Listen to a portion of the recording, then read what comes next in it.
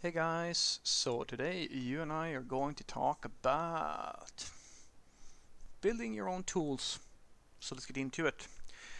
So the question in question was, Fredrik, do programmers often build tools to improve their efficiency? How do they do it? Yes, how do they do it? This is probably the topic in that is closest and nearest and dearest to my heart uh, and has been since forever ever. It is so hard to do this and I always get so excited when I find a product worth looking into to, that actually does this thing. So I like to say and this is this is the thing I realized after a while of working that once you know how to code, you feel a lot of empowerment and it feels cool. You can do things and you feel like, oh, everything was really hard in the beginning and now you kind of know how to do stuff. And then you start realizing that, yeah, I have these skills that I can use to build all of these awesome things. But I don't have anything worth my time to build that is something that I came to realize very quickly that I can build pretty much anything I want, but there's really no reason for me to do that because either there's someone who already built it and their thing is much nicer than my thing and I, it's easier for me to just use that thing than to build my own thing. Uh, it's really hard. It, uh, it, honest to God, I feel this all the time. It's really hard to find a good project, to find something where you go, yeah, this is worth the time. This is the, worth the investment.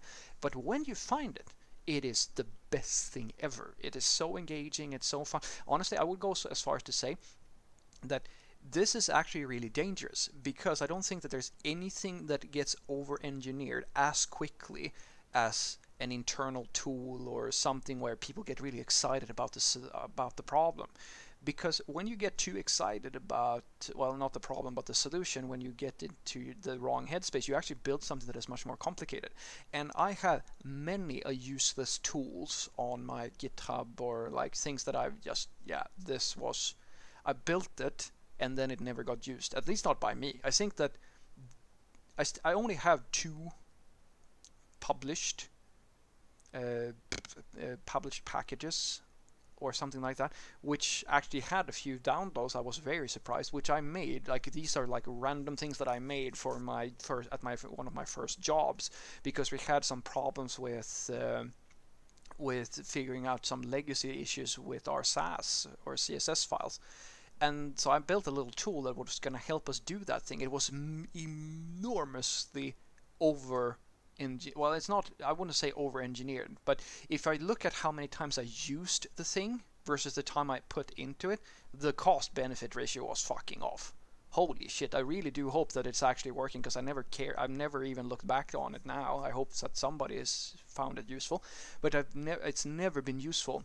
But I spent like it was great fun to build it I loved it uh, but it wasn't really useful.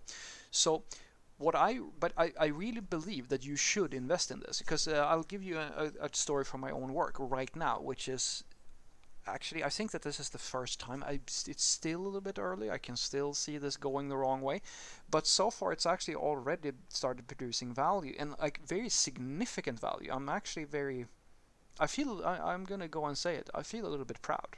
I'm very happy with how it turned out. It's not just my project; it's something that I did with is a, as a collaboration with one of my coworkers, and I think that he would agree that it's actually looking pretty promising. So we had a uh, we had a uh, we uh, where we have what I like to call a standard, like a boilerplate story. Uh, which is a story where whenever like it's something that comes back like every quarter or some interval you need to make a new implementation a favorite uh, an example would be you are going to sell a new type of product or you're going to place a new type of order type of thing, right?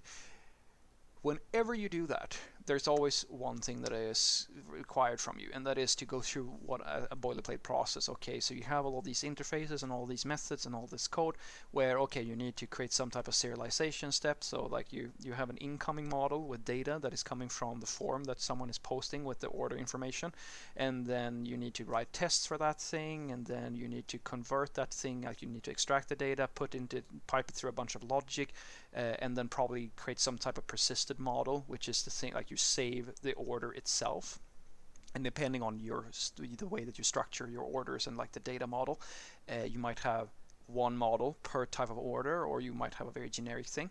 Uh, depending, uh, in my case, we went with a more like specific thing where we have different models depending on what type of order we're dealing with, which adds a lot of like it adds boilerplate. There are benefits as well, but it becomes more boilerplatey because you need to add more models and then you create some type of view model like there's a lot of other logic for internal systems and so forth. That is like it's literally the same thing every single time. Like you, you, it's you could copy paste the requirements it's just that you create a new model and you go through the same thing over and over and over again right? So i told my coworker let's standardize this thing. Let's uh, let's uh, because it's take like just because the problem is that uh, this is something that you can't really well, you need you could test this. You could, in theory, create a if you have you if you we were using BDD, which I hope that we will at some point. Uh, we could have created a suite of tests that just checks does like this feature work as intended. But the problem is usually that you don't actually remember all of these boilerplate steps that you need to add code in different places and so forth. So what we did was to create a little CLI a, uh, a command line interface which takes like where you basically just declare the model that you want to save to your database or the thing that you're going to like the order model that you're creating right?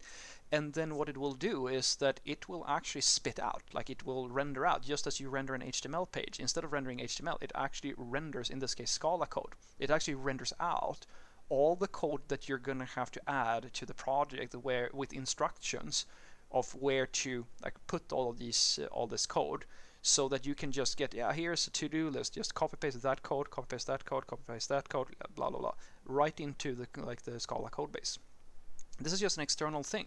And it it reduced the like the time like from say that we took a day or two or three or something like that. Let's say call uh, be lofty. Let's say it takes four days for a beginner or like a junior developer to actually implement this thing. And for my coworker who's done it a million times that he can do it from memory so it might go faster for him. Now it like takes a few minutes because you don't even you don't even have to write the code because it's already it's it's the same damn thing every single time. It just needs to be done.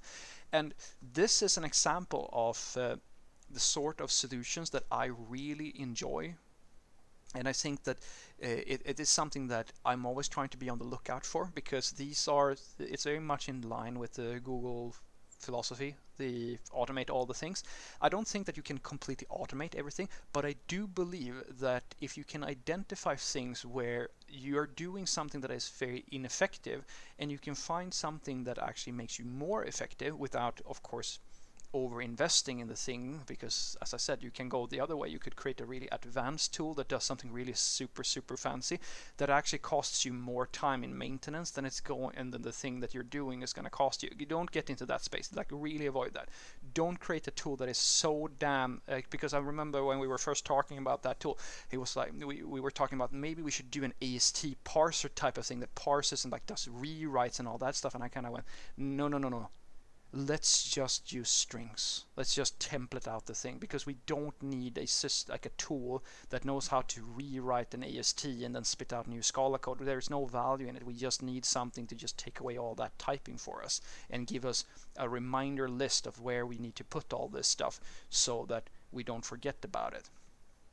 So what I want you to take away from this is that yes, programmers build their own in tool, internal tools. Uh, the danger with doing that is usually, in my experience at the very least, that sometimes you create a tool that is way too complicated. It wasn't all that long ago uh, where I dealt with that, uh, where we had this bunch. Uh, usually, it's like a bunch of ad hoc scripts that does something fancy, and when somebody takes it too far, they create like a solution to a problem you don't even have. Like the script can do like a hundred things, and you really only ever use one or two of those things, and then it rots really quickly because people kind of get bored with it. So it's really it is really hard to figure out like a really good internal tool or something that's really going to work for you.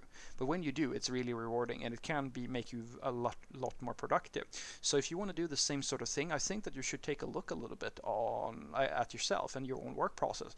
Are there things that you continuously do that is kind of boilerplate or things that are really hard or really ineffective. I mean, I've done many things such as, well, we have these manual things like if something goes wrong with the system we might have to place an order manually or like reach out to people and stuff like that and some of that stuff is like going and doing kind of weird hacky things to just get some JSON or in or something like that. In many cases, you can just create a little CLI or like a script that does a lot of that work for you or helps you with part of that process to speed it up just a little bit so it is less painful for you.